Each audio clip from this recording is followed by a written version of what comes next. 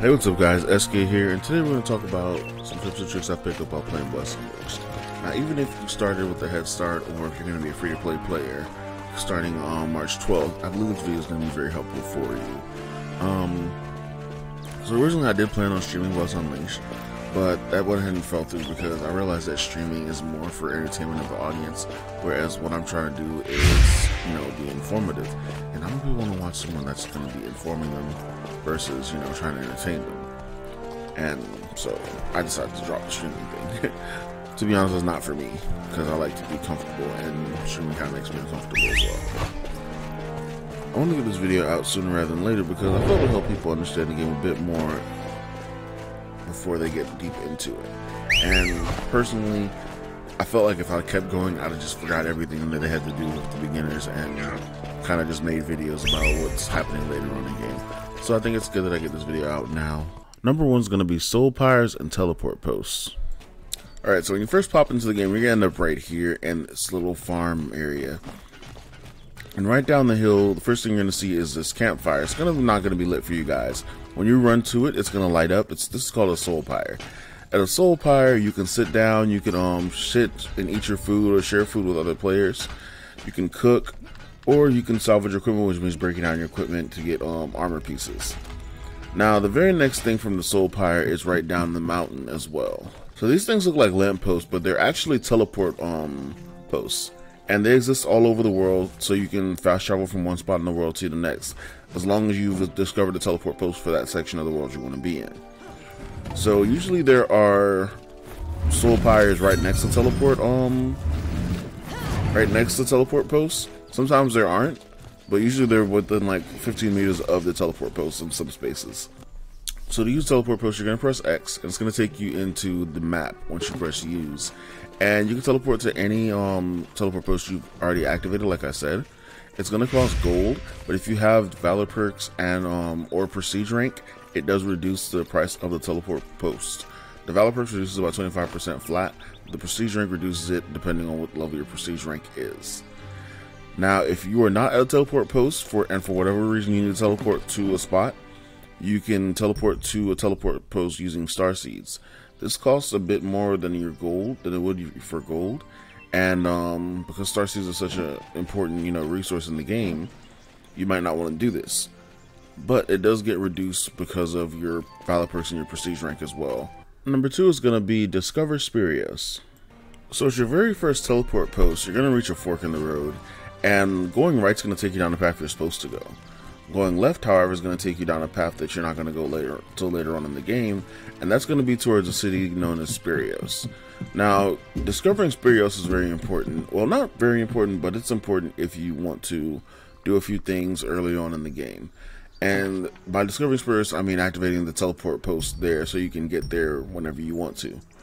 And that's, like I said, that's going to be important later on, like around level 17. I'll go over that a little bit later.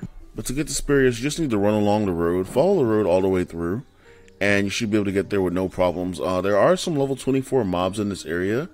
As long as you just don't run into them, you should be fine and don't stop in front of them. You can pretty much outrun the mobs with basic foot speed. If you need to sprint because you feel, you know, extra scared of them, then sprint. But you should just be able to run past them naturally and be fine. Number three is going to be open all chests. So as you explore the game, you're going to find um, treasure chests that are just sitting around in random spots. They don't have any real meaning in the spots that they're in, to be honest. But the random spots they're in could be like someplace up high or someplace down low. Sometimes they're behind monsters, sometimes they're in places completely safe from monsters. Some are in cities and some are just like in random barren areas for no reason.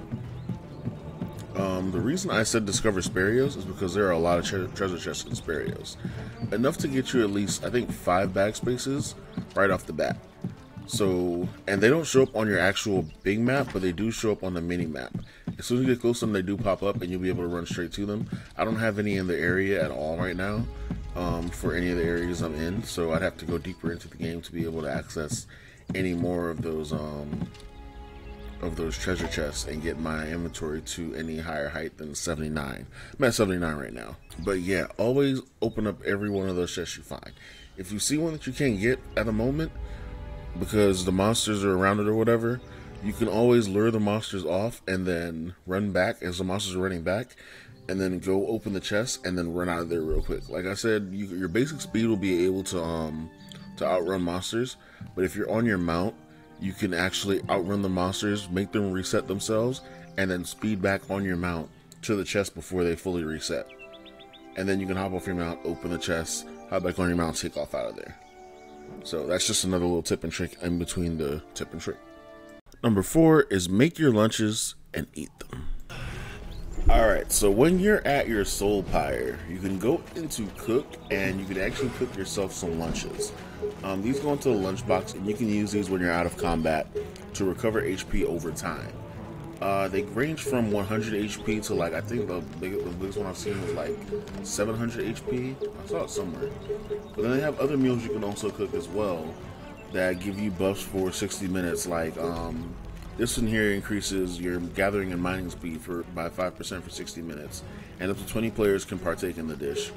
Um, and there are higher levels of every one of these meals as well that work for longer or have better buffs and stuff like that. But you need recipes to access most of that stuff.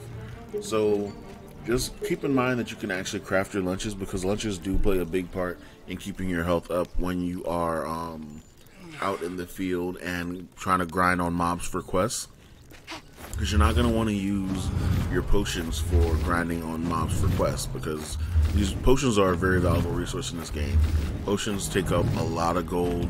They are a gold sink if you're trying to buy the level 2 potions from the um, from the merchant and the level 1 potions just don't do enough unless you have a weapon or a piece of armor that increases the amount of potion um, percent that heals. So that brings us to number 5. Gather herbs when you aren't killing. So if you're just sitting around in game, or if you're in the middle of fighting between mobs and stuff, just go ahead and go gather some herbs. Um, they're worth it for you regardless of what you think. Um, they gathering herbs, you're gonna need to craft potions later on. Potions are a very big part of this game eh, because there is no designated heal for um, priests. They just drop these little balls all over the place, and you're expected to run into them if you can. Um, so uh, that's gonna be your pretty much your your GTFO heal whenever you need it to, you know, save yourself because your priest has used all their heals or you're not near your priest or your priest is being juggled by the boss. And as you can see, me gathering this um, herb right here, it actually heals about 20% of my HP. So, and it does provide me a little bit of EXP, but the, the EXP is negligible. But the fact is, the gathering of herbs does do a lot for you later on in the game like I said, it's going to be useful for you when you're crafting potions, when you're making food, and stuff like that. And that brings us to number six craft potions. So once you've gathered your herbs, you're going to go to the alchemy station and you're going to hit distilling and you're going to want to go and craft potion of recovery 1. Now, potion of recovery 1, it gives you, at the, you see at the bottom left, it gives you 10 EXP per craft and it's going to take 3 Lumios root. At Potion Recovery 2, you're gonna use you're gonna get 15 EXP, but you're gonna use 7 Lumiose root, which is double 0.5 of the actual regular recipe. So the plus one does make a difference. You're gonna want to use um you're gonna want to get these because these are more you can get more out of these than you can get Potion of Recovery 2. And if you have an item that say increases the amount of recovery you get for using potions, then that's going to pretty much catch that up to a level 2 while only using what it takes to get a level 1. These potions personally aren't worth it to me, but if you feel like it's worth it, go ahead and craft it. Um, you're going to want to craft, all, you're going to just want to max craft these all the way until um, alchemy level 6. At level 6, you'll be able to craft the healing potion level 1, and that restores 45% of your max HP. Now, with an item that say increases how much your healing item does, you can actually boost that even higher. So that's why you're gonna want to rush your um you want to craft your potions and get to crafting level six. I mean alchemy level six to be able to craft these. And the breath of mushrooms are gonna be easily farmable. That's why I said in the beginning, discover Spirios because in this area, I was just in an area in an earlier part of the video. In this area right here, this is all Breath of Mushroom spawn zones. This whole area right here. They don't come in like very big numbers, but it's like I think 11 or 12 of them that spawn back to back. And even if they don't spawn that fast, you can just switch channels and go around and collect them over and over and over. And then switch channels, go to the next bunch, and just do it over and over until you get how much ever you want.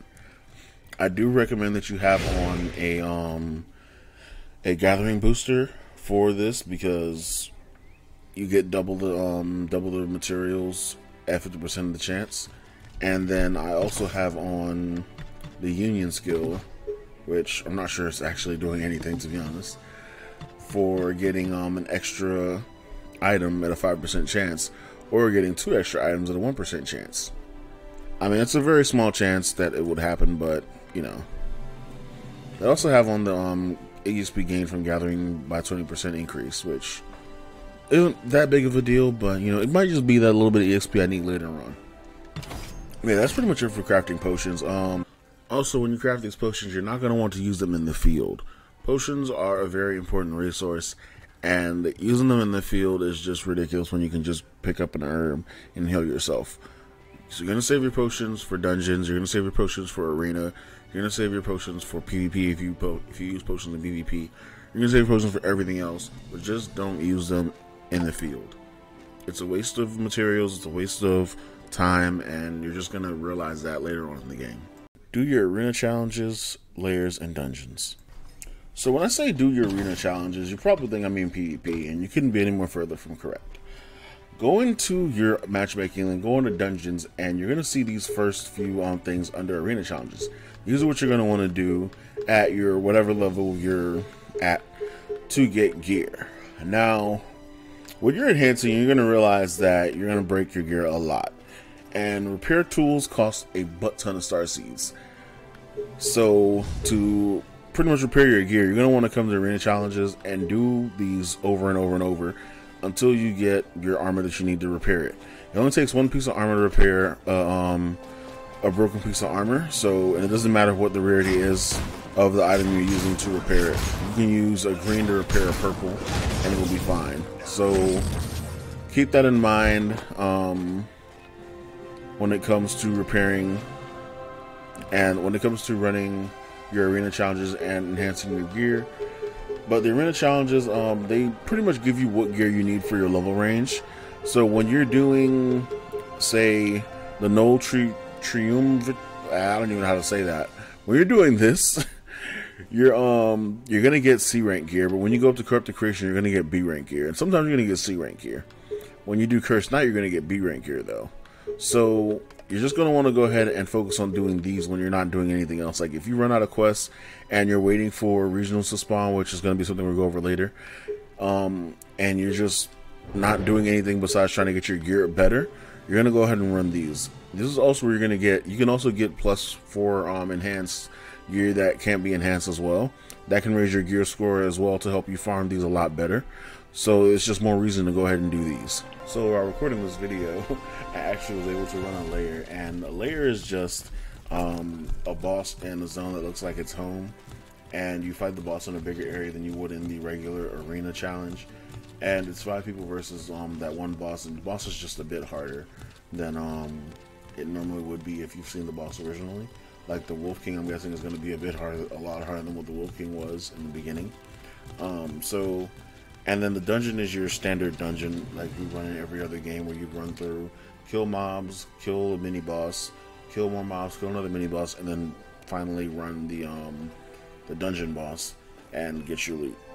Now the lair and the um, the dungeon require you to use seal keys to open the boxes for them, and they also give gear equivalent to whatever level you're running against. So number eight is do your regional quests, and this includes hourly and field bosses. So if you open up your map and you zoom out to where you just see your um, teleport posts and your soul pyres, you also see other icons like this on the map, which are going to be your regional quests or your field bosses um, regional quests. And these quests are able to be done. Sometimes they're, they're able to be done every three hours. Some are able to be done every 24 hours some take time and just don't want to respond sometimes. I mean, I don't. We haven't. I haven't figured out the exact science to these, to be honest. But um, what we know for a fact is that bosses do reset 24 hours after being killed. So um, that's one thing that is constant at least. Unless it's, I think it's the weekly reset where they all just reset at once. I believe I, that that happened on Thursday. I'm not sure what happened there. We're trying to still get that down.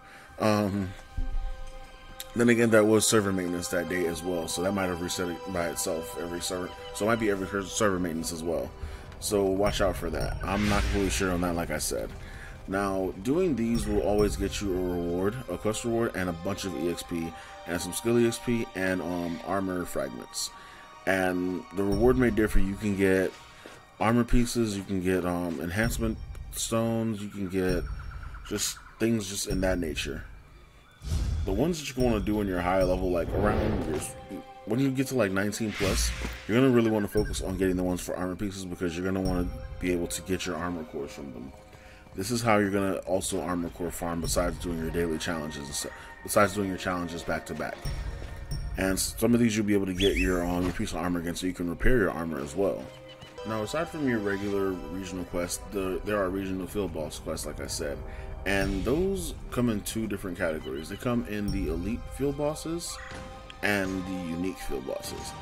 The the elite ones spawn every 24 hours after they're killed, and the unique ones spawn every week. So, like the harpy, um, this giant right here. See, it says 100 and something hours. That's going to be seven days from now. I'm pretty sure and I'm not gonna be able to do that quest once I do it again. But this gives um the reason you would do these is because even if you're not at the level of doing it, it still gives you these items called soul crystals, which you can trade into an NPC called the Monster Hunter. Um, it's the one, two, three, four, five, six, seventh item up from the bottom when you're looking at my um my left side of the screen. They give out these soul crystals. You trade them for Monster Hunter for other items, and that's pretty much the only use I've seen for them so far. I'm not sure if there's more use for them later on in the game, but as of now, that's the use I've seen for them. Number 9 is armor effects. So this whole time we've been talking about armor and how to farm it and how to get extra pieces of armor. And you're probably wondering why do I want to get extra pieces of armor besides repairing it? Well, first of all, there are armor effects on every piece of armor. And the armor effects, the um, the equipment effect is not always the same because they all hold different values. So as you see this um, bonus attack boots I have here, it says equipment effect increases attack power by 217. That's not the max attack power that these boots could get, but these boots specifically are only going to be 217. I can't re-roll that stat. Now, if I find another bonus attack boots, their value might be higher or they might be lower from the um, equipment effect. So that's why you're going to be wanting to do your arena challenges to get more armor so you can roll and try to get better armor effects on your armor before you enhance and go forward with that piece of armor. This is going to be a lot of farming, trust me. Uh, the same thing goes for these these boots right here. These I have to enhance first of all to even get to be better than the bonus attack boots with gear score, and the defense is already better, but the gear score is not even close. But the equipment effect is increases critical hit, hit rate by 3.9%. For B rank, that's pretty low. I believe the the top um, the top of the chart for critical rate in B rank is 5.81%. So these are pretty low. I wouldn't want to keep these anyway. Um, unless, you know, I just wanted to smash them just to get to a higher rank, just so I can have my gear score up. In this part of the game, and this early in the game, of course you're not going to pay attention to, you know, your effects because you're not trying to min-max right now. But later on in the end game, you're going to definitely want to pay attention because, you're going to be crafting most of your own gear for most of the end game. And these unique effects are going to matter especially if you're gonna like try to max out all your stats when it comes to your character and have your character be the best it can be. So number 10 is gonna be Union quests. So correct me if I'm wrong in the comments, but at around level 17 you'll be in this area, and this is where you first meet your Union person, your first Union person at that, and it's gonna be for the artisan, um, for the artisan union.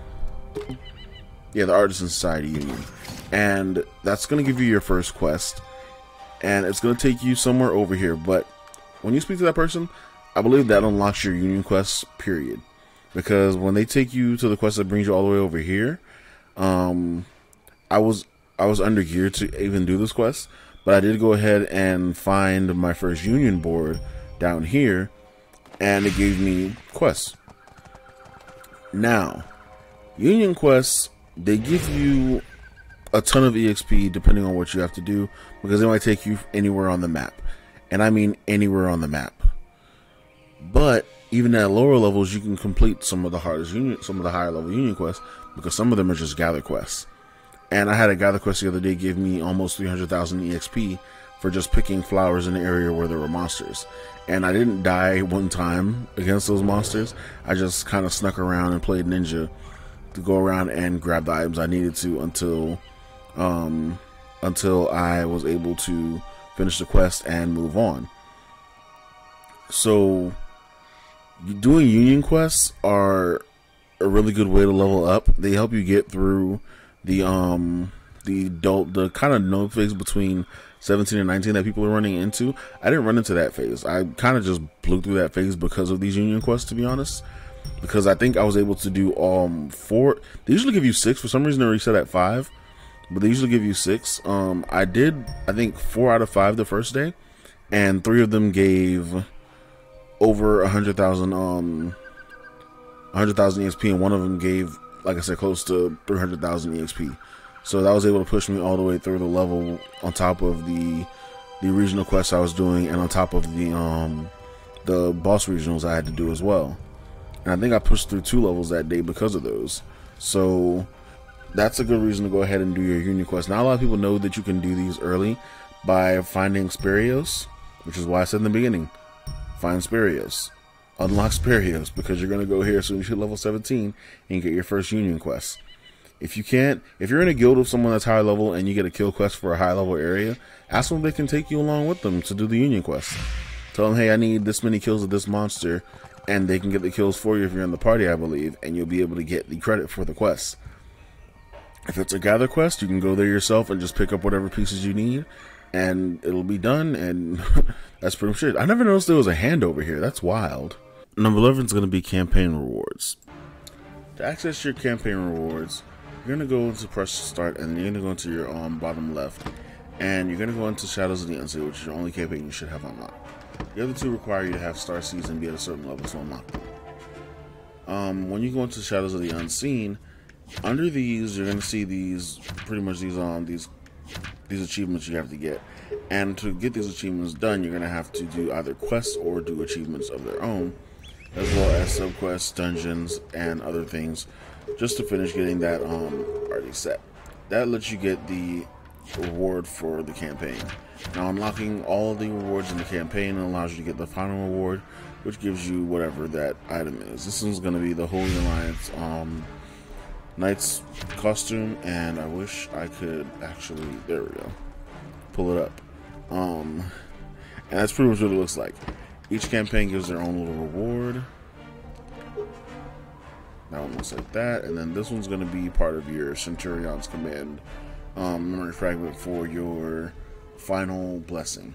So number 10 is going to be your blessings. So if you look at your map, there are all sorts of Phystera all over the place.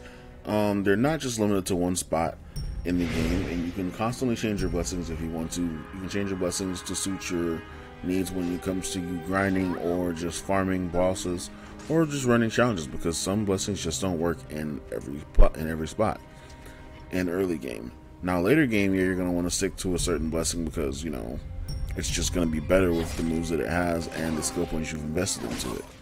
But like I said, early game you're gonna want to change your blessings a lot. I've done, I've changed my blessing a few times. I'm sticking to one blessing right now because a piece of armor I has makes the blessing really good. So that's um that's just something that you need to know about when it comes to blessings. And finally, we reach number 13 Crusades and Invasions. So, Crusades and Invasions, um, they spawn kind of randomly, to be honest. I'm not really sure if there's like a time period where they spawn. I know some of them mostly spawn at night, so I guess try to be on at night. I'm not really sure. Like said, it's, it's kind of just really random when these spawn. But when they do spawn, you might want to keep an eye on your map or um, pay attention to your notifications because it will show up that the that they've activated, especially if you're in the area. And try to get to them as fast as you can because they can end quickly, especially the Crusades. One of the famous Crusades, and you can see the icon for the Crusade on the um, actual thing right here. But when it shows up on the map, it's going to be a giant white oval. And one of the most infamous ones is this in this area right here, where you have to kill kill 20 herbivores and 20 um, carnivores in this lake area. And in this area, there's hippos, lions, hyenodons, just things like that. And um, it goes up really quickly. Like I said, it's if you're in this area and you're you just happen to be grinding and it pops up, just get a kill or two, contribute, and trust me, you're gonna get a ton of EXP and a quest drop. Um, the invasions, however, they spawn pretty much anywhere. I've seen one spawn here. I've seen one spawn somewhere down here. I've seen one spawn um, in the rift area, dimensional rift area. I've seen one spawn like at the very top of the map up here, and they they can be high level. They can be around level 28. Um, it just it's just a lot of inconsistency with the rifts. So I'm not really sure on that right now, but I will try to keep track of that and probably do a video later on the time frames and how to get into them. But they're all about participation. If you even if you get a hit on the mob that dies, you consider yourself participating in it. And at the end of them, it spawns a treasure chest in which there's a purple light that leads you directly to the treasure chest. It's like a, it's like a um, light that you see when you set a waypoint on your map. Instead of being green, it's gonna be purple. And it takes you to the treasure chest. You open the treasure chest, and you get a box for participating um, for whatever level your participation is at, and you get the XP and a little bit of gold and a little bit of the um, the soul shards. So that's pretty much it when it comes to the Crusades, and they're just really quick to do, fun to jump into.